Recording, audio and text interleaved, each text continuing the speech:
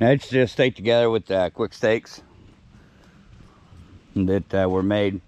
One thing that I wanted to come over and show you guys was that what makes these little half shelters so great is this right here. So, you know, a normal sized guy can uh, throw them down some type of uh, ground sheath or even just a bivy and uh, have some shelter.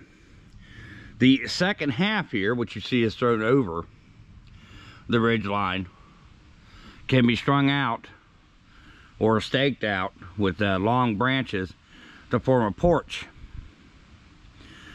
So that's one of the things that makes it kind of nice is because you can get a porch underneath here as well to give yourself uh, more shade, um, keep some rain off while you're doing a like a hiking stove or uh, Dakota fire pit type deal. Keeps um, it's great for shade. It's great for uh, keeping some wind off of you. Um, these were also coated in uh, the um, bug and insect repellent and uh, stored for about 20 30 years. So uh, if you do happen to get one of these they may smell a little weird. Just take them out use them air them out. You'll be fine. Um, these are excellent excellent options. They don't weigh much at all.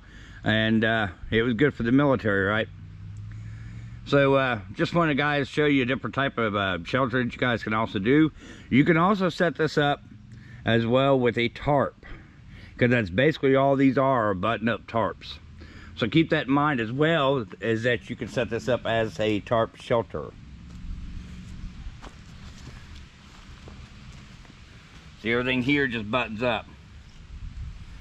It's a very useful piece of kit. Don't be afraid to use military surplus. Just uh, keep your weight down and you'll be good.